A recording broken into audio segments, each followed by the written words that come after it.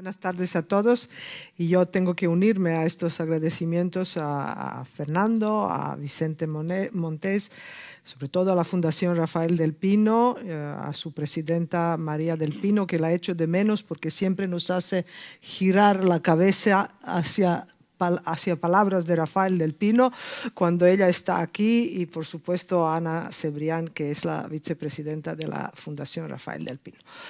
Em, es siempre un placer estar aquí y muchas gracias a los que nos siguen online y por supuesto a vosotros que, estáis aquí. Em, ya se ha dicho uh, en, las, ambas introducciones que, Europa y sus libertades, sus valores, sus sistemas políticos, las instituciones democráticas que los sostienen están amenazados por los desafíos internos y externos. De los desafíos internos de los que me gustaría que, hablemos, tenemos algo más de una hora, una hora, que no es mucho tiempo, pero sin duda alguna tenemos que hablar de los desafíos internos eh, que son el, el populismo, el autoritarismo, la tentación autoritaria es lo que yo defino esta admiración por los regímenes autoritarios que se ha visto durante la pandemia eh, y esta creencia que ellos lo están haciendo mejor y con mayor eficacia que, los eh, sistemas democráticos.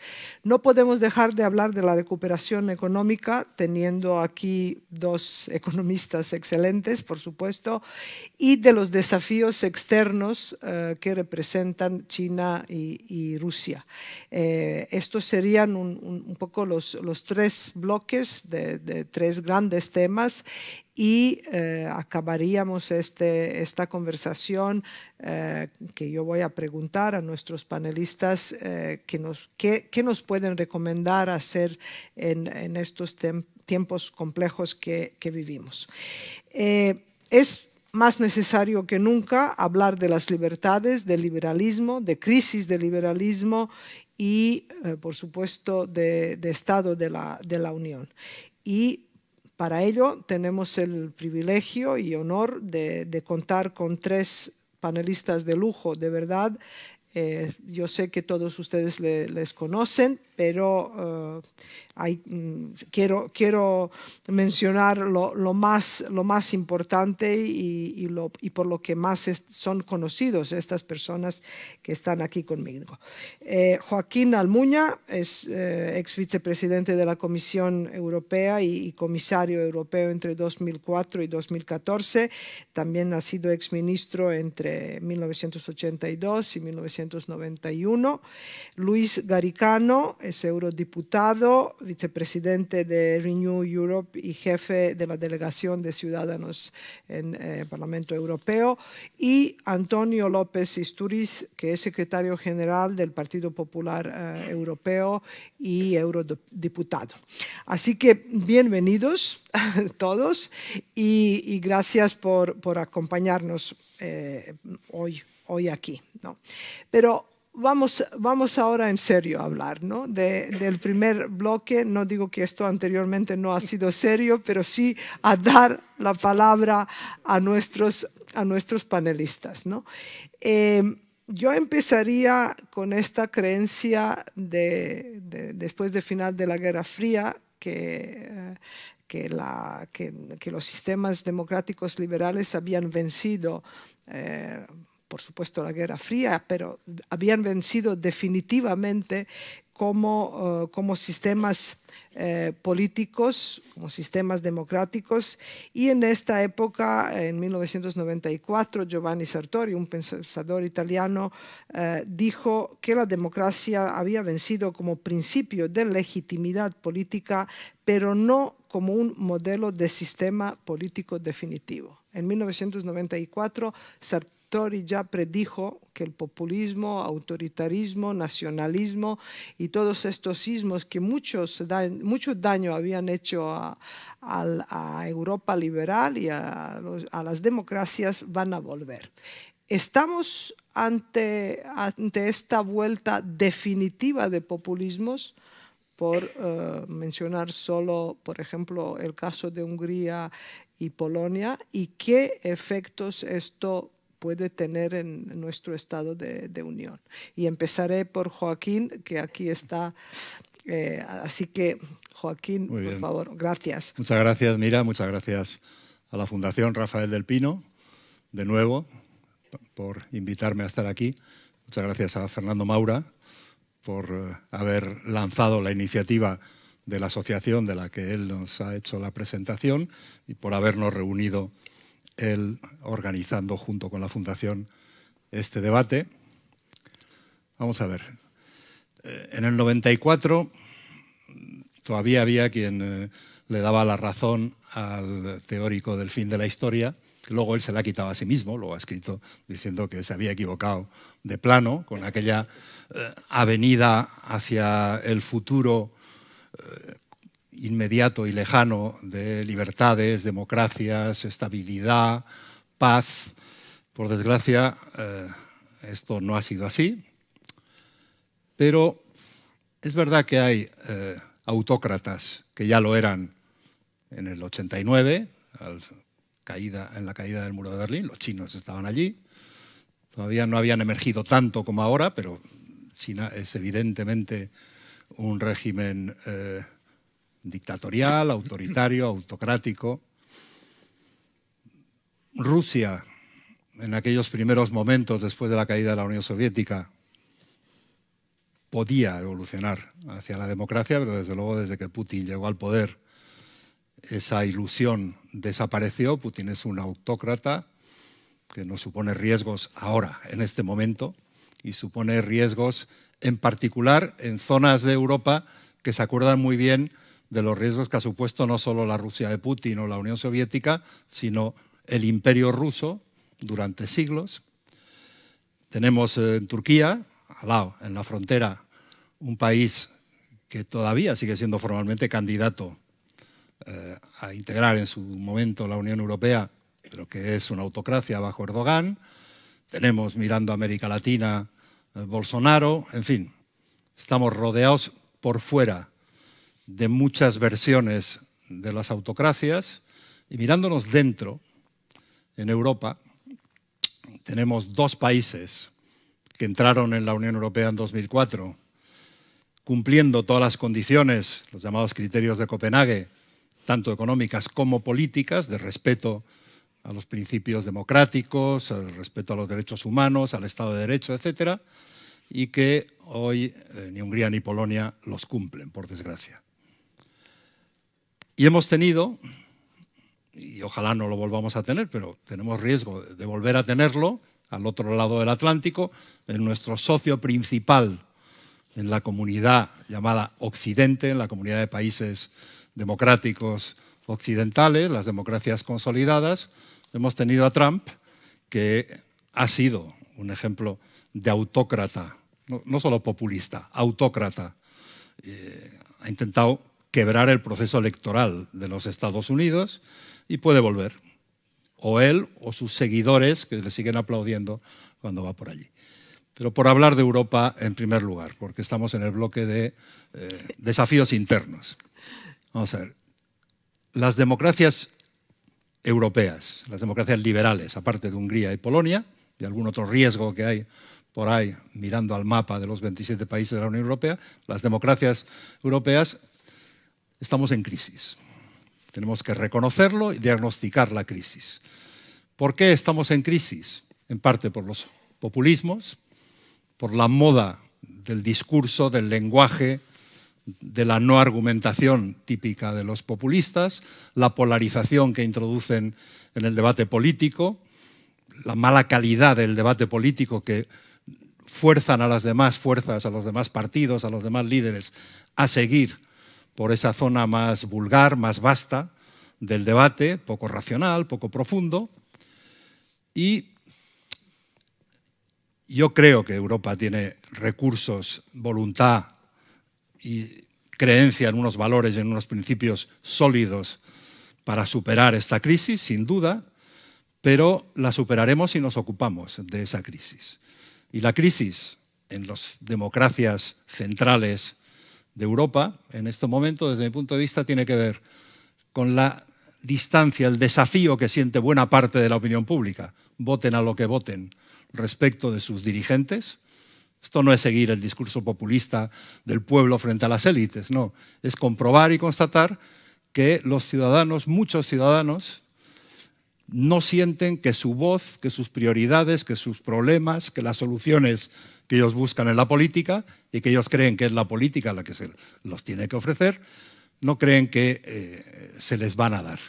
Y pierden confianza, pierden distancia, bajan las cifras de participación electoral en la mayoría de los países europeos, hay zonas de exclusión social, aparte de las desigualdades medidas por el índice de Gini, por eh, el índice que se quiera, pero la exclusión social, que es algo más amplio que la mera constatación eh, económica o estadística de las desigualdades de renta o de riqueza, la exclusión social es importante en Europa y es una exclusión social que además, si no resolvemos los problemas derivados de la débil demografía europea, entre otros, tener una política común de inmigración y ser capaces de lograr la cohesión social que queremos como europeos, con nuestro modelo social europeo, metiendo dentro de ese modelo, de esa cohesión social deseable a los inmigrantes que han venido y que van a venir, pues vamos a tener problemas en los próximos años y quizás en las próximas décadas. Por lo tanto, preocupación con la democracia en Europa y, por, por supuesto, preocupación, que luego hablaremos, de la debilidad de la respuesta europea ante otros problemas democráticos más profundos, la existencia de autocracias, de líderes con mucho poder global, que niegan los valores básicos de lo que nosotros consideramos una democracia, los valores básicos del liberalismo político, los derechos humanos y eh, todo lo que hemos entendido que es nuestro modelo, que queremos exportarlo al resto del mundo, pero desgraciadamente estamos en riesgo de importar en algunos sectores de nuestra sociedad, en algunos países, los no valores o los valores negativos que creíamos que iban a desaparecer en el año 94. Muchas gracias, eh, Joaquín. Bueno, si hablamos de la crisis del liberalismo, por lo menos una cosa está clara, que el liberalismo... Yo liberal, yo hablo de la crisis de la democracia. Y de... bueno, a la democracia no hay, que poner, no, no hay que poner el adjetivo. Toda democracia tiene que ser liberal. Bueno, sea democracia o, o liberalismo... Pero lo importante, porque hay que incorporar desde mi punto de vista, las políticas públicas, el Estado, la cohesión social, el diálogo social. Lo importante para mí, pero bueno, eso podemos repetirlo y discutirlo en el resto de la sesión, es hablar de los problemas de la democracia, que es más amplio de los problemas del liberalismo. Estoy, estoy de acuerdo. Lo que iba a decir es, sea democracia o liberalismo, si hablamos de la crisis, significa que todavía existe y que, ah, que al fin y al cabo es una crisis y como dirían los chinos, cada crisis es una oportunidad. Así que podemos mirar ambas, ambas partes de, de la moneda.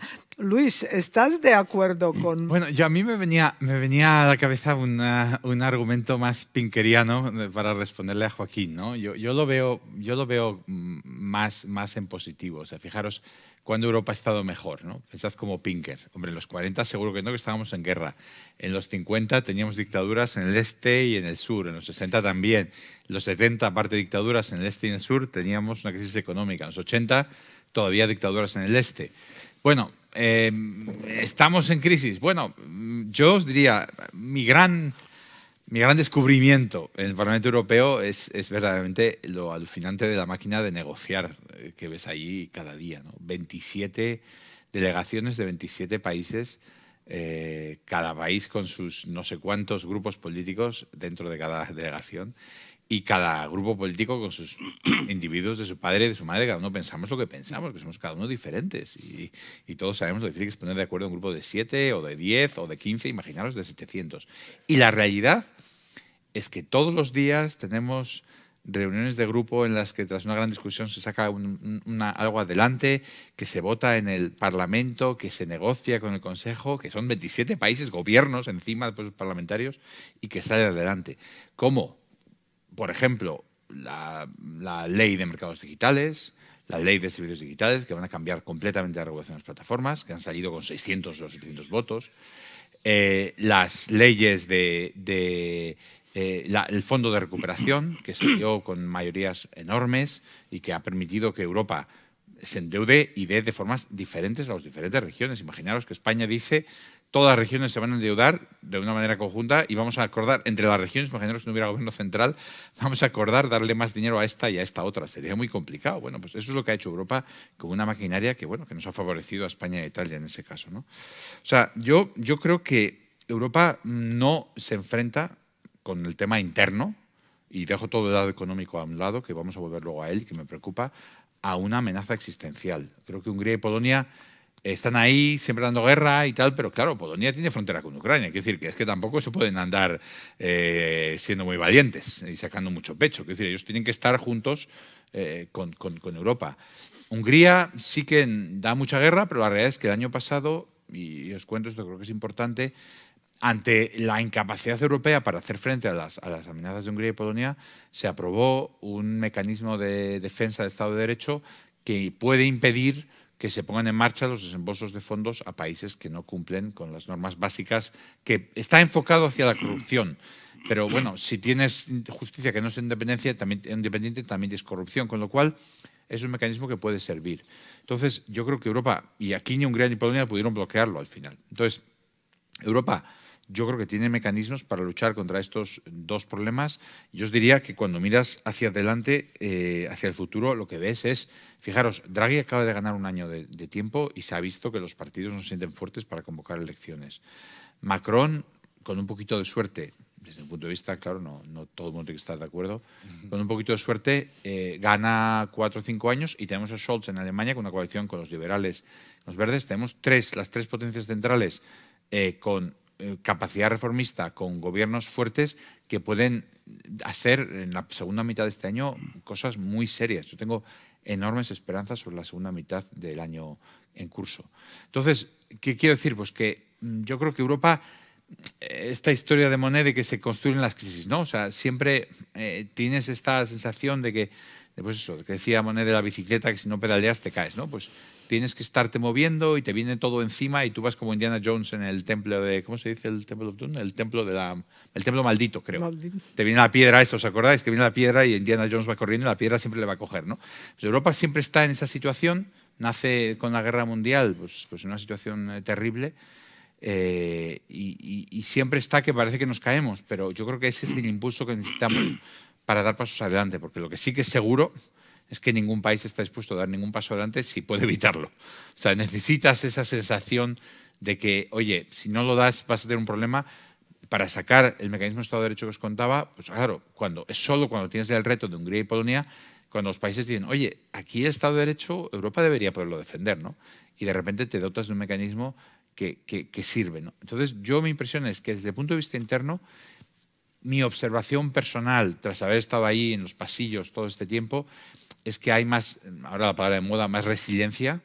Y obviamente Joaquín sabe 100 veces más que yo de todo esto, porque ha estado en los pasillos mucho más tiempo y con muchísimo más poder, obviamente. Pero me da la impresión de que hay más resiliencia de la que podemos pensar cuando leemos a prensa. Esa, eh, cuando leemos desde fuera, porque al final todos enfatizamos lo que no sale. Pero la realidad es que la maquinaria sigue funcionando, los leyes se siguen aprobando y Hungría, pues sí, Hungría y Polonia pues tienen unos gobiernos fatales y son horribles, pero son una, son una amenaza existencial a, nuestro, a, nuestros, a nuestra Unión Europea. Yo creo que más bien, con un poquito de suerte, en cuatro meses Orban se ha ido. El, Visegrado eran cuatro países, ya solo quedan dos. Los checos sí se juntan en Visegrado, pero los checos ya no quieren saber nada. O sea, que los países, Eslovaquia tampoco. O sea, los países van viendo que, que no les vale la pena a los ciudadanos. Yo tengo esperanzas de que eh, esa amenaza sea más bien una amenaza puntual. Me gusta tu optimismo pinkeriano, pero, pero, yo ahora voy a preguntar una cosa a, tono muy, muy concreta. Quizás no se trata de la amenaza existencial, el caso de Polonia y Hungría, pero lo que se ha demostrado hasta ahora es eh, que Polonia ha hecho eh, algo sin precedentes, que es no reconocer el Tribunal de Justicia de la Unión Europea como un tribunal que tiene eh, autoridad suprema por encima de los tribunales nacionales. Eso quizás, y no es amenaza existencial, pero sí que me parece una situación grave, sobre todo porque nuestra, nuestras democracias descansan en las instituciones, es lo que los sostiene.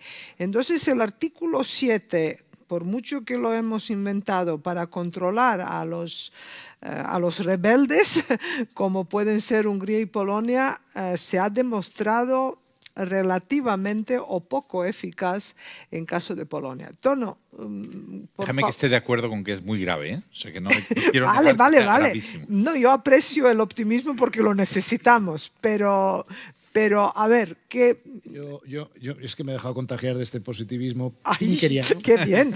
Algo, algo que contagia y, no es con por ello, Y cuidado, que no me vean aquí Muchas veces cuando hablo de Europa hay mucha gente que me mira como si soy el típico europeísta, estos federalistas un poco fanáticos, ¿no? Y tal. No, no, no, no. Yo soy pragmático, ¿eh? Y yo creo que la Unión Europea es una construcción increíble, sin parangón, que pone de acuerdo a países que durante siglos estuvieron matando y fíjense cómo estamos ahora. Un poquito de memoria histórica de la buena. Eh, vamos a ver, yo, tú hablas de los años 40, yo me voy, incluso con ese optimismo, me voy más allá. Eh, Oiga, eh, aquí hay gente que ha estudiado historia, que es una asignatura desgraciadamente eh, cada vez más en retiro ¿no? en los programas de estudio. ¿Cuál es la historia europea?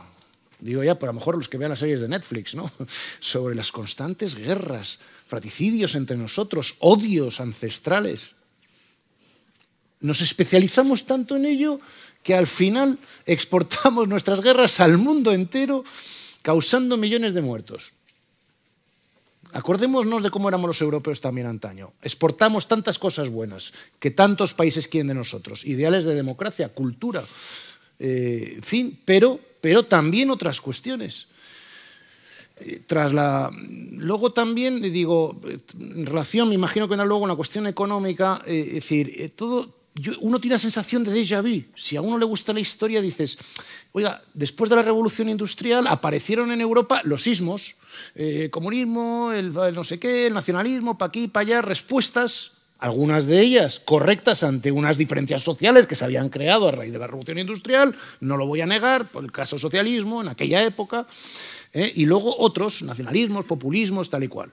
La historia se repite, pero en esta ocasión lo podemos frenar Estamos a tiempo de no caer en el mismo error y tropezar con la misma piedra. Y oiga, que no se ha inventado nada nuevo.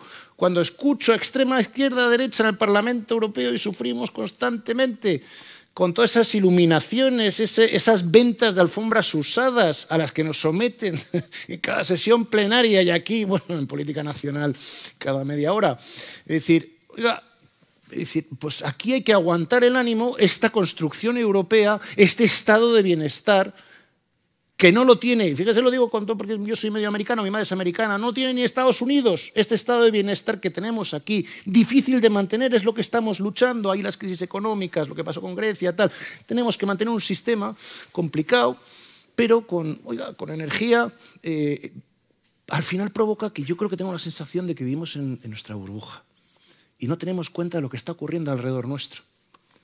Aquí hay gente que no le gusta la democracia. Aquí hay gente que no le gusta la libertad.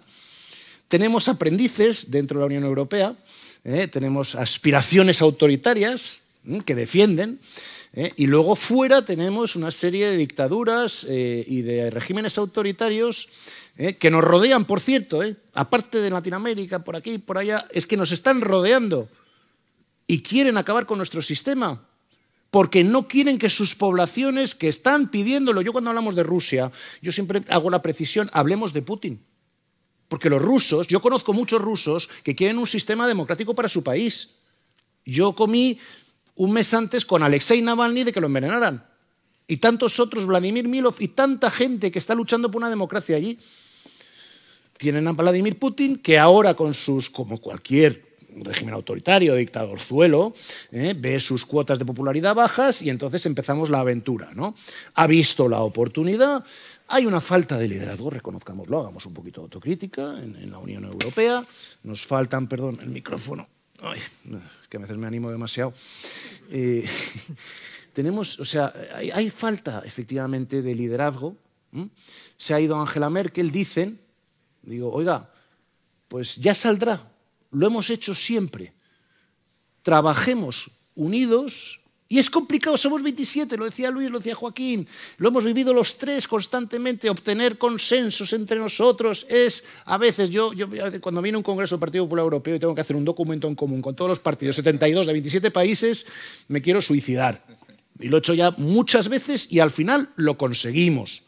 Es una labor de consenso aburrida, eh, lenta, como lo que se refleja en los medios de comunicación constantemente, que nunca publican nada positivo, por cierto.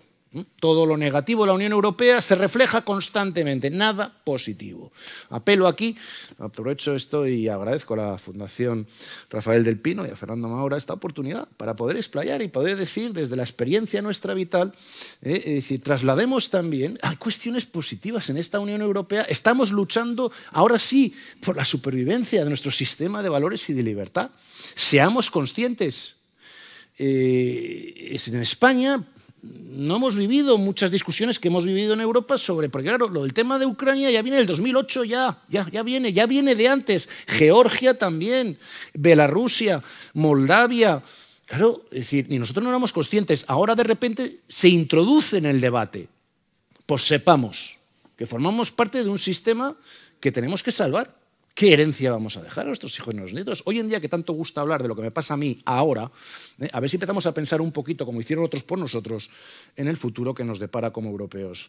No sé si me estás mirando, mira, porque me estoy pasando, pero... Un poquito, un poquito, un poquito, Me callo porque seguro que habrá para más. Pero tu pasión es desbordante, por lo que no, no, quiero interrumpirte. Me Vamos, no, no, eh, estoy de acuerdo. Yo, yo la verdad que estoy de acuerdo y de hecho he emigrado a la Unión Europea porque admiro a los europeos eh, por lo conseguido y por la capacidad, y admiro a vosotros por capacidad de, conseguir consensos. Mira, Esto es... digo, siempre cuando vienen amigos latinoamericanos a vernos, iberoamericanos tal y cual, les digo, oye, qué envidia, ¿no? Es decir, que yo estoy sentado aquí, yo es que no lo acabo de entender. Estoy sentado aquí con un sueco, un finlandés, un italiano, tal, y alcanzamos acuerdos, eh, en fin, tal y cual. Qué pena que algo paralelo no haya en Latinoamérica. Pero bueno, en fin. Bueno, habrá. Vamos a pasar al bloque de economía y voy a esta vez a pasar, empezar por Luis, luego con Joaquín iré otra vez al tono, a cambiar. No, quizás Luis y luego tono y al final Joaquín, que aquí es el, el sabio, muy sabio de, de los temas como los otros, pero Luis ha subrayado que tienes mucha más experiencia en estos temas y con esto estoy de acuerdo. Tono ha mencionado eh, y ha destacado como una de, uno de los logros de la Unión Europea el estado de bienestar, que estamos conscientes de ello, debemos estar conscientes que también está, está en peligro. Eh, en la crisis financiera y económica de 2008 se habló mucho también en esta línea de siempre de criticar a la Unión Europea, quizás de que Europa había reaccionado mal y tarde. Y mi pregunta aquí es, eh, tampoco podemos, eh, no, tenemos tiempo en entrar en otros temas, pero dos, eh, dos por una, dos preguntas por una. ¿no?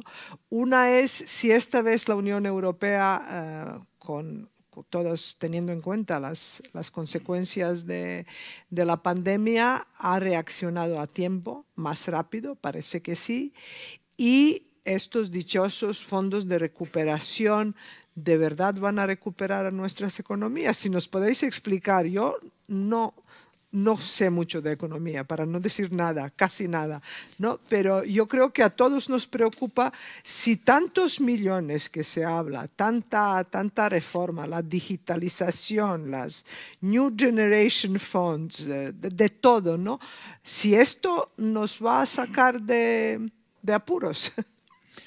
A ver, eh, yo creo que la respuesta europea a la crisis ha sido espectacular espectacular. Eh, si ve uno el, el incremento de, desempleo que se ha producido en Europa comparado con Estados Unidos, que no, no, ha habido desempleo durante esta crisis, comparado con la caída enorme del PIB, etc.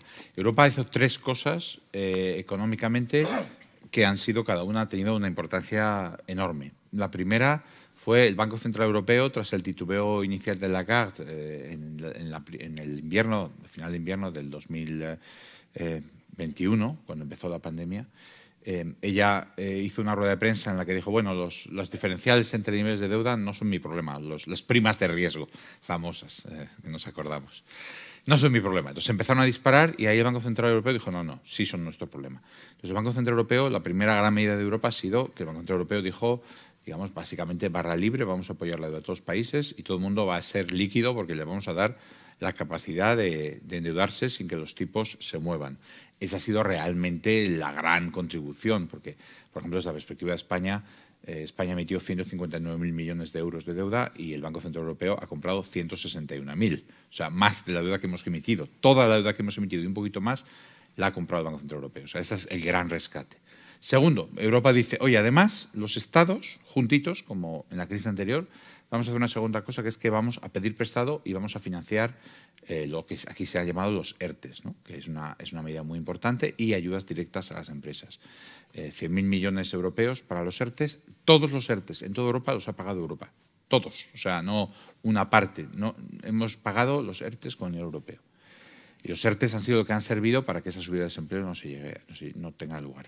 Y la tercera gran medida que Europa tomó, efectivamente, es los fondos de recuperación. Eh, durante el final de primavera y el mes de julio, Europa se pone las pilas y dice, oye, y además, para que los países que están muy endeudados no van a poder invertir no, y no vamos a poder salir de este agujero, vamos a tener un paquete de eurobonos. ¿Os acordáis que los eurobonos eran tabús durante la crisis anterior? No se podía pedir prestado como europeos y tal. No. Hemos emitido bonos europeos y con esos bonos europeos le vamos a dar dinero a los países. Eso es un cambio gigantesco en la forma en que funciona Europa, porque realmente es un momento en que Europa dice, oye, nosotros no vamos a mm, decir cada uno, cada palo que aguanta su vela, como hemos podido decir en el pasado. Aquí vamos a decir, todos vamos a ir ayudando a que todos nos recuperemos. Entonces, Europa, desde la perspectiva económica, yo creo que merece un 10, o sea, esos son tres medidas espectaculares. Todos los países han tenido la misma política económica, todos han tenido ERTES, todos han tenido ayudas directas, todos han financiado la recuperación con apelación al dinero europeo. Algunos han gastado más en ayudas directas, España ha gastado de los que menos, pero bueno, más o menos la, relación es, parecida. Y ahora se trata de que ese dinero de recuperación, ese tercer paquete que os contaba, de que se aprobó el último, eh, realmente ese dinero se gaste y se gaste bien, se gaste en hacer una buena recuperación. Y a tu pregunta, mira, de si, somos capaces de gastarlo bien, eh, yo creo que hay una discontinuidad en el gobierno de España tiene que ver, supongo, y aquí tenemos gente que, ha estado en el gobierno de España, eh, eh, en el gobierno de España mm, yo creo que hay, quizás un problema de capacidades, de, bueno, podemos, podemos hablar de qué puede, ser el problema, pero hay una discontinuidad muy grande entre lo que se hace en Bruselas, que creo que se hace muy bien, creo que el gobierno es, espectacularmente bueno a la hora de, negociar cosas en Bruselas, de sacar eh, de sacar los papeles adelante. ¿no? Eh, la ministra Calviño pues, tiene muy buena reputación allí y es muy capaz para sacar eso. Y la plasmación de ese dinero y de esos papeles en la calle, que creo sinceramente que una es de 10 y la otra es de cero. O sea, realmente la gente no sabe dónde está el dinero. Eh, ERTE de vehículos eléctricos de 6.000 millones se han gastado eh, de toda la electrificación de los vehículos se han gastado el 1%, de renovables no se ha gastado nada, el ERTE de, vamos, el ERTE de energía y de hidrógeno, o sea, digo el ERTE, el PERTE, perdón, estos son los, planes estratégicos, los dineros, de, los dineros de, para la industria. No se ha gastado nada y no hay convocatorias y las convocatorias van despacio. Y puede ser que, bueno, que nuestra maquinaria administrativa no sea muy capaz de gastarlo. Eh, las autonomías no se ha contado con ellas. Bueno, hay muchas cosas que podríamos, realmente eso sería un debate que nos llevaría toda la noche. Pero yo mi impresión es que esa es la parte que ahora mismo ese dinero nos lo dan para que hagamos reformas, para que lo invertamos bien y yo no tengo el convencimiento de que vaya a pasar, aunque hoy es un buen día porque ha pasado una reforma laboral, que es un elemento gigante de, de todo lo que nos pedía Europa hacer, lo hemos hecho y esa reforma laboral, mm, en principio, no desmonta las cosas buenas de la reforma laboral anterior, no hace, no hace muchas pifias, que ya es una cosa buena, aunque tampoco hace muchas grandes cosas. Pero bueno, lo, lo importante es que no, no, no da marchas atrás en, en, cosas importantes. Así que yo creo que Europa ha hecho su trabajo muy bien, ahora tenemos que hacerlo los países, esta última fase del Fondo de Recuperación.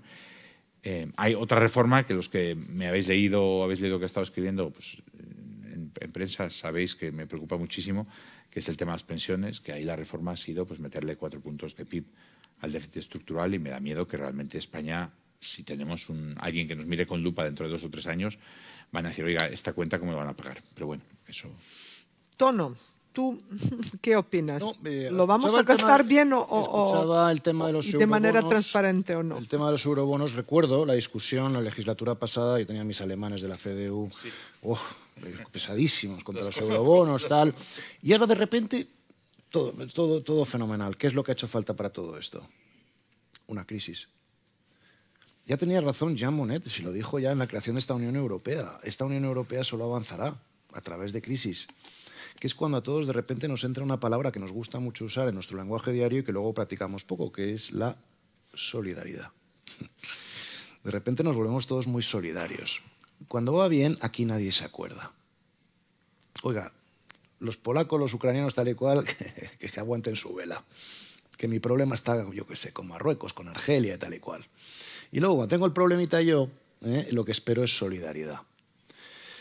La solidaridad vino también la cuestión de la pandemia. Yo recuerdo, tengo, muy buena amistad con Michel Barnier, el negociador jefe del Brexit, que ha sido muchos años vicepresidente del Partido Popular Europeo, etcétera, etcétera. ¿no? Eh, fue comisario europeo y él propuso en su momento, hace unos años, la creación de una agencia para el control de pandemias en Europa. Y allí se presentó y en el Consejo, como no, unanimidad, un voto en contra y no hubo agencia de pandemias. El voto, por supuesto, del Reino Unido, claro. Una de las cuestiones por las cuales, de las pocas, ¿eh? porque yo lo veo más negativo, pero bueno, por las cuales podemos decir que por fin el palo que teníamos en las ruedas europeas ahora ya no está. A ver si tomamos decisiones más rápido en esta cuestión. Quiero decir que para mí ha sido lamentable ¿eh? la salida del Reino Unido, para ellos, para nosotros, eh, creo que en cuestiones de seguridad, que nadie me lo interprete, economía, creo que es una mala noticia para todos. Sin embargo, nos permite proceder de esa manera. Cuando empezó la pandemia, todos los gobiernos, todos cerrando las fronteras. Nadie comunicaba a nadie, cada uno a lo suyo. Amigo mío, de repente se dan cuenta de que los supermercados empiezan a estar vacíos. Claro, porque no vienen los camiones del sur con la comida, con las, uh, con las verduras, con las frutas y tal. Y entonces todos corriendo a Bruselas, como pasa siempre. Estoy relatando hechos que normalmente se repiten siempre en el tiempo, pero bueno, por hacer un ejemplo, por dar un ejemplo, y vienen todos corriendo a Bruselas a llorar y a quejarse eh, de lo que está ocurriendo y que puede haber un desabastecimiento en la Unión Europea.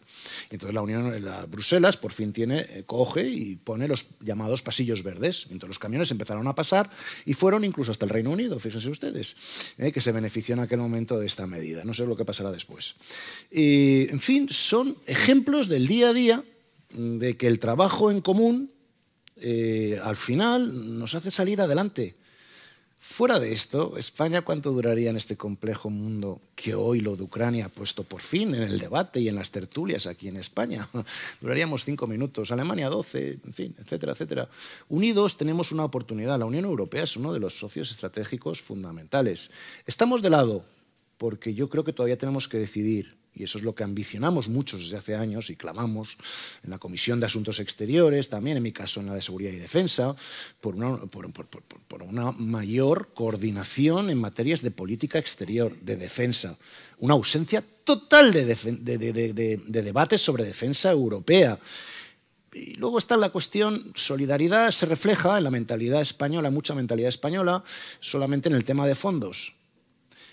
Eh, yo siempre he dicho, oiga, a mí esta cultura subvencionable de que aquí yo me tengo que alegrar porque vengan 100.000 millones de euros, no, perdone.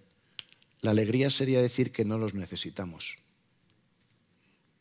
Ha pasado con algún país europeo que no sabe qué hacer. Le toca una parte de la tarta pues en el reparto y no sabe qué hacer con eso. Por ejemplo, el caso alemán, lo tiene que invertir al final en unas minas en la cuenca del Ruhr y tal. Es decir, porque no, no, es, no es para ellos tan necesario. Yo veo eso como una historia de éxito. Lo otro no. Lo que tenemos que hacer es una reflexión y pasar a un plano en el cual España asuma realmente su concepto de liderazgo dentro de la Unión Europea, y no de pertenencia. Yo ya llevo 40 años, en, perdón, 25 años intentando convencer, me imagino como vosotros, eh, por allá, por las campañas y tal y cual, pregonando la buena nueva europea, ¿eh? y siempre tengo a alguien que me pregunta, ¿ustedes allí en Europa? Y digo, no, no, señora, estamos en Europa. Con lo cual, Fernando, lo que decías antes de la cuestión europea, que es, ¿eh? decir, no todo el mundo lo sigue teniendo tan claro, estamos en Europa y ahora lo que hay que aspirar a es estar en la toma de decisiones, de la cual somos constantemente allí ¿eh? apartados. Eso es una ambición.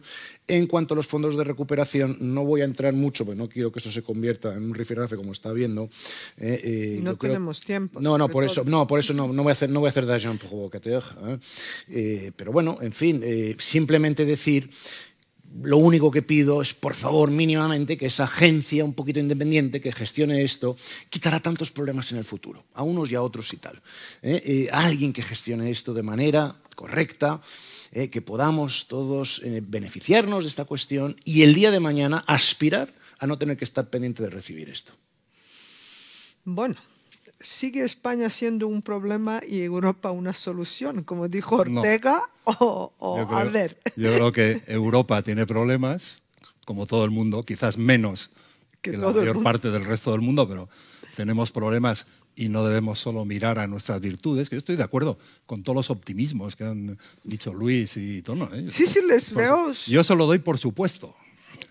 Pero creo que hay que ver los, hay que ver los problemas que tenemos aquí y cómo los resolvemos para tener todavía un futuro mucho mejor, porque hay otros que tienen un futuro que nos llega aquí con alguna interferencia de problemas, de desafíos y tal. Los tenemos todos globalmente con el cambio climático, pero alrededor de Europa, a un lado del Atlántico y al este de, nuestros socios que, se, que se vinieron a Europa en el 2004, tenemos eh, problemas que no podemos ignorar, no podemos solo satisfacernos de lo que tenemos dentro. Vamos a ver, ¿cómo ha reaccionado la Unión Europea a esta pandemia?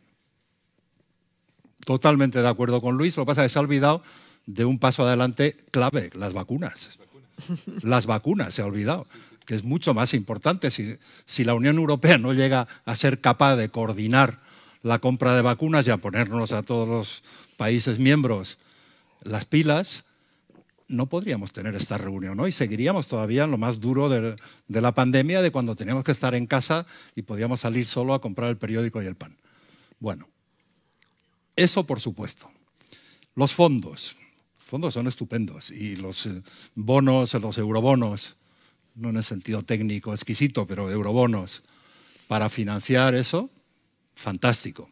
Yo quiero que se repitan en el 2026, de cara al próximo presupuesto europeo de siete años, quiero que se repita, si no es exactamente el Next Generation EU como el que se aprobó el año pasado, algo parecido, financiándolo todos en común y atendiendo prioridades que están ahí por décadas, el cambio climático, la digitalización, la cohesión social, etcétera, etcétera, etcétera. Ahora, en cambio ahí sois demasiado negativos. Vamos a ver, España fue el primer país junto con Portugal en presentar el plan a la Comisión Europea. Y cuando uno va a la Comisión Europea y habla con gente, como decís, y totalmente de acuerdo, diversos, de diferentes países, de diferentes orígenes, de diferentes ideas, no encontraba a nadie que diga que el plan español es malo o mediocre. Todo el mundo dice que el plan español es fantástico. Reconozcámoslo, si no pasa nada, aunque lo haya hecho un gobierno donde no están todos los partidos que se centran en el Parlamento, reconozcamos que el plan es muy bueno. Y la presidenta de la Comisión Europea, o los que le escriben las notas a la presidenta, pero de su entorno, lo va diciendo, me parece que va por la tercera eh, eh, nota o la tercera declaración reconociendo eso. La ejecución, ¿por qué eres tan negativo? Vamos a ver. Yo estaba en Bruselas el 3 de diciembre cuando salió la noticia de que nos aprobaban los 10.000 millones. Habían aprobado 19.000, me parece, que era la parte eh, previa, como a todos los demás países, en la proporción correspondiente. España el primero que recibe dinero porque ha cumplido condiciones, los hitos, 52 condiciones, las que estaban fijadas, que había que cumplir para eh, diciembre del año pasado, cumplidas. Oye, felicitémonos de eso. Pero, pero cumplidas, Luis, no de gasto. El dinero ha llegado ahora, en enero. Se aprobó en diciembre, pero todos los procedimientos, el dinero acaba de llegar. Claro, 1% de ejecución, pues mira, han ejecutado un 1%, pero los planes tractores, que son los que tienen que arrastrar además a muchas partes del tejido productivo español, de medianas y pequeñas empresas, para sumarse a esos planes tractores diseñados para el automóvil eléctrico, el hidrógeno verde, etcétera, etcétera, están todos aprobados y se están empezando a ejecutar. ¿Se ha contado con las comunidades autónomas? Yo ahí no, no, sé cómo ha sido el proceso interno. Lo que sí sé es que la mitad de los recursos del plan de recuperación, estos primeros 70.000 millones de subvención y los otros que van a venir vía préstamos, la mitad van a ir a las comunidades autónomas directamente, si no es que quién los reparte en no sé qué ministerio más o menos competente. Van a ir directamente a las comunidades autónomas porque estamos en un país descentralizado y en una parte a los municipios. Pongámonos las pilas todos, pero no tiremos piedras contra nuestro propio tejado, porque a lo mejor hay algún funcionario de Bruselas que lo lee y le dicen a la señora von der Leyen que no haga tantos elogios de España en sus notas. Por eso, ahí está mi optimismo, mi optimismo está ahí en que creo que en este país sabemos hacer esas cosas, tanto ejecutar programas de gasto, no solo diseñarlos, sino ejecutar y además considerar que los intereses del conjunto del país son nuestros intereses, votemos lo que votemos. Dame, dame un minuto. Somos un gran país y sabemos hacerlo. Dame un minuto para responder solo dos cosas muy breves. Una, como bien has dicho, el dinero, el dinero llegó en agosto, no en enero. Lo es, lo es. El, dinero, el dinero llegó en agosto, no en enero. No, no, los 10.000 millones han llegado en enero. Pero los otros 9.000 habían llegado, como dijiste antes. Sí, pero, pero los, eh, los 10.000 acaban de llegar. Y segunda, para los segunda, son los que han llegado ahora. Y segunda, yo creo que no es correcto el decir eh, o el implicar que si uno critica cómo se hacen las cosas, eh, ah, es que estás dando herramientas a los que van a decir que España. Yo creo que nuestro trabajo es exigir que las cosas se hagan bien y, yo voy a dar toda la guerra que pueda para que lo hagan bien. Y no se puede uno callar simplemente porque piense, ay, si, si les doy guerra van a pensar que es que no hacemos bien. Oiga, ya nos entendemos. bueno, bueno esto, esto da para otro debate, un debate entero y, y el tema es muy importante, pero tenemos que pasar al tercer bloque que son, eh, y que creo que también lo que hemos concluido aquí, incluso las eh, vulnerabilidades que pueden producir países como eh, Polonia o Hungría a la Unión Europea, todos problemas que pueden cuestionar el estado de bienestar, el reparto de fondos, podemos creo concluir que son desafíos que contribuyen a la crisis, pero no son unas amenazas existenciales para eh, la, Unión Europea. A ver, ¿qué pasa ahora con los desafíos externos? las exigencias de Rusia que ha eh, planteado a, los Estados Unidos y a la OTAN eh, respecto a la crisis de Ucrania eh, claramente en cinco puntos en los que yo no voy a entrar ahora, demuestran que Rusia pide un nuevo orden eh, europeo de seguridad eh, a expensas de los Estados Unidos y de la OTAN en, territorio europeo. Este, es un desafío y una amenaza que va por una parte y otra tenemos a China eh, ambos desafíos, por, mm, Joaquín también ha, mencionado eh, Turquía en comienzo, otro régimen eh, autocrático. Mm, estamos acostumbrados de identificar Occidente con el sistema político de democracia, con, las, con los valores, con las instituciones democráticas y se nos plantean en en la frontera oriental, el desafío de Rusia y tenemos el desafío de China. Son dos enormes temas, yo lo sé, pero empezaré esta vez por tono. Eh, ¿Son China y Rusia amenazas existenciales para la Unión Europea? no, no, tienes que decir sí o no, pero eh, quiero decir, has subrayado ya que, que, el desafío ruso, perdona que te interrumpa, eh, ha, realmente ha empezado a cohesionar, a pesar de todo, la respuesta europea y eh, sobre todo parece que si hay alguien que gana de esta crisis es la OTAN, porque está volviendo a sus, a sus orígenes. ¿no? ¿Cómo lo ves? Mira, yo insisto, los desafíos existenciales no son Rusia y China, son el Partido Comunista de China y Vladimir Putin, que es muy distinto. Yo puedo entender que los países europeos tengan un comercio, tengan un, en fin, lo mejor posible con China. ¿Cuántos son los empresarios que han venido a contarme cómo les han robado el know-how? Porque al final el Partido Comunista de China les daba tres añitos y luego todos fuera eh, le robaban el know-how y esto es lo que ha pasado. ¿Cuántos cientos, no sé, en Bruselas hemos recibido constantemente quejándose a lo largo de estos años? Bueno, pues que cumplan las mismas reglas, ya podemos empezar por ahí. Eh, tanto Rusia como China hay un factor que yo creo que, como en esta cosa de las noticias de hoy en día, que es cada cinco minutos luego te olvidas de todo, memoria. Hay un factor este verano fundamental que se nos ha pasado desapercibido la caída de Kabul en manos de los talibanes. ¿Y qué tiene que ver esto?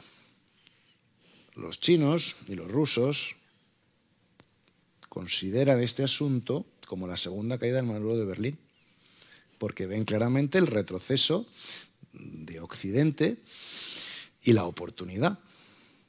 Además, en el juego de ajedrez, Putin, que es un maestro, reconozcámoslo, ese liderazgo del que yo hablaba antes, eh, ese liderazgo lo ve claramente ausente elecciones en Francia, Alemania, el gobierno, el que habláis muy bien, yo por ahora en el tema de Ucrania quiero ver que ese liderazgo florezca eh, con, ganas, ¿eh? o sea, no lo digo irónicamente, o sea, es que lo necesitamos, pero por ahora no es el caso. Y bueno, Estados Unidos pues ha pasado todo lo que ha pasado, no hace falta que lo relate, la audiencia lo sabe perfectamente, y en fin, y una ausencia clarísima de liderazgo y esto lo han estudiado y ahora aprovechan la oportunidad. Volvemos, lamento decirlo porque a veces parece un poco, pero hemos, hemos, la Guerra Fría no acabó, estamos en otro episodio. Vivimos todos, después de la caída del muro de Berlín, la gran ilusión ¿eh? de que esto, de que, en fin, de que todo el mundo iba a ser demócrata, tal y cual, y luego vino la caída de las Torres Gemelas y poco a poco hemos ido retrocediendo en estas cuestiones. Lo que antaño era la Unión Soviética tal y cual, ahora, que algunos hay equivocados creyendo que siguen siendo comunistas, no, es un régimen apoyado por oligarcas, Putin, ¿eh? Eh, en fin, y en China pues hay lo que hay. Y mire, yo no quiero que el futuro de mis hijas, porque yo pienso en el futuro, ya no en mí, y que lo que queremos hacer todos, un poquito, ese ejercicio, vuelvo a insistir, es mi aspiración humilde, es que no sea Xi Jinping ¿eh? y el Partido Comunista de China el que dicte el futuro de mis hijas, cuál es su plan con su plan aquel promocional del año 50 de tener todo dominado. Perdóname, no quiero ser catastrofista, trabajemos para que eh, nuestros valores occidentales de libertad, de democracia, sigan los que prevalezcan. Eh, y poder conseguir de alguna manera una vía democrática, eh, aspiraciones, conseguir también trabajar aspiraciones democráticas de las poblaciones de estos países. En China no lo sé, lo desconozco, lo reconozco, no soy un experto, pero en Rusia las hay. Eh, esto es lo que debemos hacer. Mientras tanto, pues desde luego no ceder ni un milímetro, porque estamos ante un gángster y a una gente que tiene un plan a 20 años para hacerse con el dominio mundial.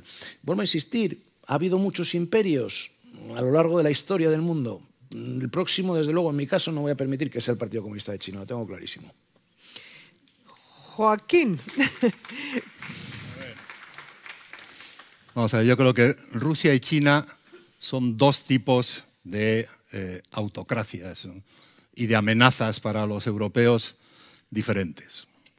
A Rusia las tenemos, lo tenemos en, al borde de nuestras fronteras exteriores con países miembros de la Unión Europea que formaban parte de la Unión Soviética y otros cuantos que eran del eh, mercado común, aquel que había organizado la Unión Soviética, del Comecon, y eh, una idea fija de Putin de hace años, es que él tiene que recomponer las zonas de influencia que las tenía la Unión Soviética, bien amarradas con la dictadura, pero las tenía el imperio de los zares y, según él se remonta a la Edad Media para decir que Ucrania es el corazón de Rusia y que por lo tanto, ¿qué tenemos que decir los europeos occidentales de que él quiera eh, no solo asociarse con Ucrania o que Ucrania se asocie con Moscú, sino mandar, porque ahí tradicionalmente ha mandado siempre Rusia.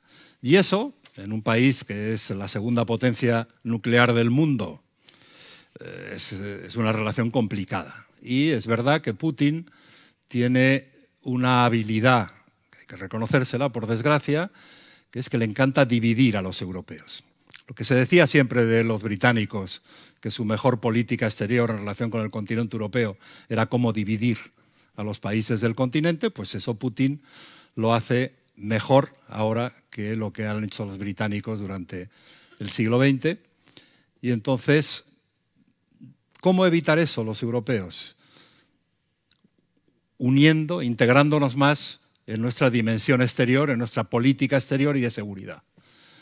Y esa es una resistencia extraordinariamente fuerte para la defensa de la idea de soberanía nacional en la que han crecido los estados-nación, que nacen en Europa y que, mal que bien, incluso los muy proeuropeos, pues tenemos dentro. Esto de la soberanía nacional todavía cuenta. Aquí además tenemos quien quiere la soberanía también catalana y otras cosas, pero bueno, a los efectos de la relación con Rusia, eh, ¿cómo nos unimos los europeos, los países de la Unión Europea, para evitar que Putin nos divida y para evitar que Putin amenace, no a todos los países de la Unión Europea por igual, pero a los que estaban en su zona de influencia, zona de influencia que él quiere recuperar. Y China es otra dimensión. Por supuesto, la segunda superpotencia mundial, cosa que en su día la Unión Soviética pensaba que lo era, pero luego se demostró que jugaba de farol, pero China sí es una superpotencia mundial económica, quiere serlo también desde el punto de vista militar, en las zonas de influencia suyas, que son todo el Indo-Pacífico, empezando por Taiwán y siguiendo por Hong Kong y, por otros. China juega ahí, pero para nosotros la amenaza china, o el desafío de la relación con China es económico, básicamente. Y no solo porque se queden con o se hayan quedado con la propiedad intelectual y las patentes de compañías europeas, que yo también hablaba con, con ellos cuando venían a Bruselas. Estaban muy bien organizadas las empresas europeas allí, con una asociación muy, muy competente que venían a Bruselas a contarnos cosas, o cuando íbamos a China también y nos contaban estas cosas de que son tremendos y nos meten al comisario del Partido Comunista en el Consejo de Administración y nos roban las patentes y tal y tal y cual. Pero luego al acabar la reunión ya en el pasillo nos decían, pero ganamos mucho dinero en China. ¿eh? Y si miramos todavía hoy las inversiones europeas en China y las comparamos con las inversiones chinas en Europa, les ganamos todavía por una diferencia muy grande. Por lo tanto, tenemos tiempo de no dejarnos avasallar. Tenemos unas relaciones comerciales y, de inversión con tensiones y tal, pero importantes, pero no podemos ser solo un interlocutor económico de China. Tenemos que ser, como europeos, como Unión Europea, un interlocutor político, estratégico, en cuestiones de seguridad. Y cada vez que alguno en la Unión Europea se atreve, como hizo Lituania hace poco, a cuestionar una posición de las que los chinos consideran altamente sensibles para su seguridad, como es el caso de Taiwán, a Lituania la están crujiendo a sanciones y a bloqueos, crujiendo a un país de los más pequeños de la Unión Europea. Por lo tanto, es verdad, mira, si es bueno, eh, por supuesto, el diálogo europeo y el diálogo entre el Consejo de los Estados miembros y el Parlamento, se acaba de aprobar un instrumento anticoerción que tiene que ser un instrumento que los europeos utilicemos como propio, independientemente de si el país que está sufriendo la amenaza o la empresa o el sector que sufre las consecuencias y las coerciones chinas está en el norte, en el sur, en el este o en el oeste. Y esa dimensión va más retrasada que otras muchas, por supuesto que la integración económica, o que la integración comercial, el mercado interior y otras cosas, ahí tenemos que hacer un paso adelante muy serio los europeos. Y olvidarnos un poco de eh, nuestro concepto tradicional de soberanía nacional y darnos cuenta que en el siglo XXI, a medida que avanzan las cosas y con esos grandes poderes, compartir soberanía a escala europea es una obligación. No debe ser solo una opción, sino una obligación. Al ritmo que se pueda, no podemos ir mucho más rápido que lo que va a nuestra opinión pública, pero tenemos que hablar a nuestra opinión pública en cada uno de nuestros países, es decir, tenemos que ir por ahí, porque es su interés y su interés y nuestro interés y el del otro.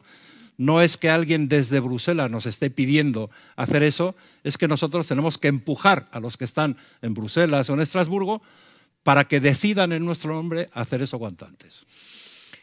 Luis, la misma pregunta. Sí, yo, yo, yo, creo que el análisis que, que han hecho mis dos colegas de, de, China y Rusia no tengo, no tengo nada que añadir. Que añadiría la última, a lo que ha empezado eh, Joaquín a, a, enumerar de cómo Europa responde. ¿no? Está esta idea macroniana que Macron ha usado mucho en campaña y que ahora se ha metido en todos los documentos oficiales de autonomía estratégica. Y lo que vemos con la acción de Rusia es que de autonomía estratégica nada. Eh, Alemania, que es nuestro pilar de nuestra respuesta, Alemania, que es la que realmente tenía que estar liderando, está aterrorizada por la posibilidad de que le corten el gas y tenga un problema grave energético. Entonces, Alemania, en vez de decir, Rusia, no se te ocurra, Putin, no se te ocurra meterte aquí, Alemania está un poco, eh, no se sabe muy bien, si, invitando casi eh, con, con, esos titubeos. ¿no? ¿Qué falta? Uno, esa política exterior común y de defensa que no tenemos y que hay que empujar. Comparto todo lo dicho por Joaquín, pero yo añadiría dos cosas. Dos, eh, energía. Eh, es evidente que Europa tiene una dependencia energética brutal, o sea, no tenemos, España no tiene autonomía estratégica, mientras Marruecos o Argelia nos puedan cortar el flujo de gas de un día para otro. Eh, mm, Alemania, dependiendo de, Rusia y del Nord Stream, del, del gasoducto que se va a abrir, pues tres cuartos de lo mismo. Eh, hay que ir hacia una transición que todos sabemos renovable y verde lo más deprisa posible, que nos va a terminar de, nos va a eliminar la, dependencia de los eh, fueles fósiles, pero también tenemos que preservar mucha de la energía que los alemanes en su, en su no sé, mm, prisa pues se han eliminado, que es toda la energía nuclear y que bueno, como sabéis ahora en Europa tenemos un debate enorme sobre, sobre ese tema sobre si se puede o no se va a poder invertir en energía nuclear. Yo creo que la energía es un elemento clave de autonomía estratégica que no tenemos y dejadme que añada otro que pasa mucho más desapercibido. La tecnología de la información. O sea, fijaros que si ahora coges las 100 empresas más grandes del mundo, de las 100 empresas grandes del mundo, 15 o 20 son plataformas. Bueno, más, mucho más. De las 30 primeras, 15 o 20 son plataformas. Facebook, Apple, eh, Microsoft, eh, todas las, eh, Baidu, Tencent, chinas también y tal. De todas esas europeas no hay ninguna. O sea, en el mundo de los datos no hay empresas europeas ahora mismo. No tenemos capacidad tecnológica para avanzar en inteligencia artificial. Eso puede ser terrible para nuestra industria automovilística, porque si los coches van a ser inteligentes y no tenemos capacidad para hacer algoritmos, pues vamos a tener un problema. Eh, entonces, la, capacidad tecnológica, energética y en seguridad de Europa eh, no la tenemos. Y mientras no tengamos esa capacidad, lo que vemos es que mm, China, por ejemplo, si China mañana invadiera Taiwán y Taiwán fuera parte de China, el 80% de los semiconductores mundiales estarían bajo control de China, directamente. O sea, China podría decir de un día para otro, por razones de seguridad, etcétera, no vamos a exportar semiconductores y se pararía toda la industria mundial. O sea, yo creo que ahí hay un, esfuerzo que Europa tiene que hacer, para mí, empezando por, es curioso que no tenemos empresas de primera línea, europeas, tecnológicas, y no tenemos universidades de primera línea. Y uno se tiene que preguntar si las dos cosas no van juntas. Fijaros que las universidades europeas grandes, potentes a nivel mundial, eran Oxford, Cambridge, la London School of Economics, eh, Imperial College London, y por otro lado tenemos el Instituto Tecnológico de Zurich, etc. Se salió el Reino Unido y la primera universidad europea en el ranking de top 50 es la Universidad de Delft. O sea, una universidad en Holanda. No tenemos universidades de primera línea y no podemos ser líderes en tecnología, energía, innovación si no estamos ahí. Entonces, a mí esa es mi gran preocupación con Europa, que realmente con actores como Rusia y China, actores hostiles, para presentarles cara, plantarles cara, tenemos que tener esa capacidad. Bueno, un comentario, sí. por favor, es que no puedo resistir esto, sobre el tema, Veo, de, la, veo, veo. sobre el tema de Veo. la energía nuclear. Es que yo llevo años siendo insultado, humillado y denigrado porque yo decía que, bueno, que a falta de energías renovables tal y cual, mientras tengamos la energía nuclear, no es que yo sea un defensor, pero, en fin, eh, es lo Eres que había, práctico, ¿no? Y ahora de repente es limpia y verde. Oiga, yo, es que no me enter- ¿qué ha pasado aquí? Ahora de repente tengo a los verdes alemanes diciendo que no hay problema. No, sí, ellos sí que lo tienen. Bueno, sí, pero no lo están. ya sabes por qué. Porque a cambio del gas, usted no me habla del gas. Voy a hablar de tu amigo Macron, pero no sabe. Es decir, usted no me habla del gas, yo no le hablo de la energía nuclear, que tengo cuántas, 22, 32 centrales nucleares en Francia. Y aquí tenemos las cuatro que tenemos obsoletas. Dios mío, ¿dónde estamos? Lo dejo simplemente porque creo que también sería un elemento de debate para el futuro que yo creo que es interesante. Eh, sí, no, yo, yo lo que iba a decir respecto a- al desarrollo tecnológico, Europa lo que ha demostrado hasta ahora es que sabe regular y multar pero poco innovar. y, y eso sí que estoy completamente de acuerdo que, que es un problema. Yo iría concluyendo y, y- y os pido una, una breve respuesta a modo de, de conclusión. eh, el presidente Woodrow Wilson en 1917, ya a finales de la Primera Guerra Mundial, dijo, tenemos que construir un mundo donde las democracias estarán a salvo. Estamos en 2022 y parece que, eh, que hay potencias como China, como Rusia, Irán y otras eh, que están intentando construir un mundo donde las autocracias quieren sentirse cómodas. Entonces, ¿qué tenemos que hacer y qué papel, sobre todo en, en este proceso de lo que Tono dijo, tenemos que trabajar para que prevalezcan nuestros valores democráticos? ¿Qué Europa puede, puede hacer para, para contribuir que los malos no ganen? Joaquín. Danos un minuto a cada uno, yo creo, porque si no eh, nos van a reñir. Eso, eso, un minuto, pero no podemos eh, irnos sin, sin responder a esta gran pregunta en un minuto. Joaquín. Parla, estamos acostumbrados a minutos. Yo creo, yo creo que la, la democracia, siempre se ha dicho, y hay que repetirlo y recordarlo siempre, necesita que la cuidemos todos los días, veamos amenazas lejanas o cercanas, veamos problemas en los demás y no nos fijemos tanto en lo nuestro, pero tenemos que cuidar la democracia. Y en el siglo XXI, a estas alturas, con especiales razones, las hemos comentado aquí, pero no podemos hacerlo cada país por separado, cada democracia por separado. Somos demasiado pequeños. Decía Tono lo de Alemania, que a veces se piensan que son demasiado grandes, o pensamos nosotros que son demasiado grandes, y visto cómo está el mundo, Alemania también es demasiado pequeña, necesitamos más integración, y la integración no viene por sí sola, no es la bicicleta de Monet con un motor que avanza por sí sola. Esa bicicleta hay que pedalearla, la tenemos que pedalear juntos y tenemos que explicar, los que creemos en el proyecto europeo, a la opinión pública, a los ciudadanos, por qué. Porque la primera reacción de un ciudadano en momentos de más desafección y de mayor distancia respecto de las instituciones políticas y de los líderes es, oiga, no nos vengan con eso, resuélvanlo ustedes. Pero luego los ciudadanos, cuando se da un paso adelante, como fue el Tratado de la Constitución Europea, y no se les ha explicado las razones de fondo de por qué hay que dar ese paso adelante, a veces tienen el mal gusto de rechazar esos pasos adelante. No, no, primero usted me explica por qué hay que hacerlo y después yo, si usted me convence, lo daré. Y esa tarea la tenemos todos, no en Bruselas, la tenemos fuera de Bruselas. En Bruselas es donde se pactan las soluciones, se lanzan las propuestas, pero la energía para que eso funcione tiene que salir de los territorios, de los ciudadanos, de los países, de las regiones, de los municipios, de los partidos políticos, de los líderes locales. Eso es fundamental si queremos que la democracia europea sea fuerte y tenga raíces. Luis, un minuto, por favor, porque Una nos idea. van a- nunca más nos van a invitar. Sí. Una idea, una idea muy breve. Pues aprovechemos. Una idea buena, está buena. Una idea muy breve. Ahora voy a enterar. Una idea, Yo quiero volver. yo una quiero idea volver. muy breve. Yo creo que Joaquín lo tocó en su primera intervención. eh, la causa de la desafección en gran parte del populismo es económica. eh, en particular, el shock de China. eh, no nos dimos cuenta. China entró en la WTO, en la Organización Mundial de Comercio, eh, más toda tecnología. Bueno, las clases medias europeas han sufrido mucho.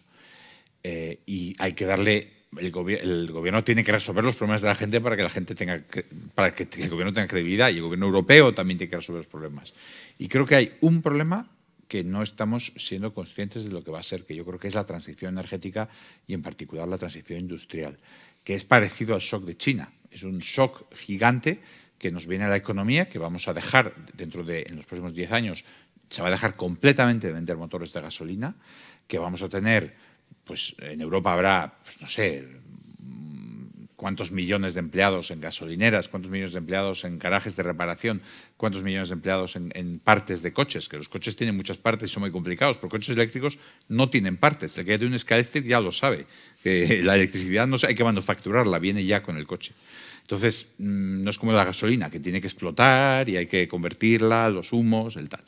Es decir, es una máquina completamente diferente, muchísimo más sencilla, con muchas menos partes y tenemos que hacer la industria más grande de nuestros países, hay que reconvertirla y no nos puede pasar como con China, que dejemos tirados ahí de repente a centenares de miles de trabajadores europeos que dentro de 10 años estén muy cabreados con la transición energética. Entonces, la transición climática, Europa tiene, todos los países y todos los gobiernos tenemos que pensar en que no nos pase lo de China y que lo hagamos bien.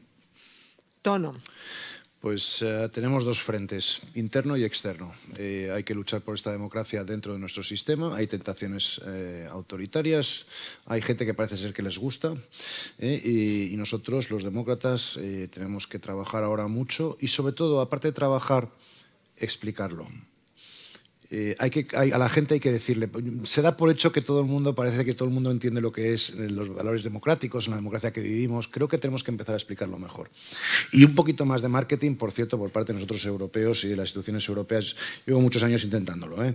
Es necesario simplificación del mensaje.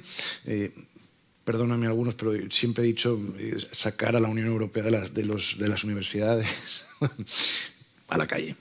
Eh, y, sobre todo hacer entender a la gente que de dónde venimos, el momento espectacular que estamos viviendo y dónde podemos acabar. Y eso se defiende internamente y externamente, frente a lo que está acechándonos con firmeza y frente a lo que nos pasa internamente. Gracias. Esto es de, hablar de no, no solo de lo que va a ocurrir, sino sobre todo de lo que vamos a hacer. Así que muchas gracias a todos por vuestra paciencia, por vuestra atención y muchas gracias sobre todo a nuestros panelistas que merecen un, más que un gran aplauso. Pero en fin, muchas gracias.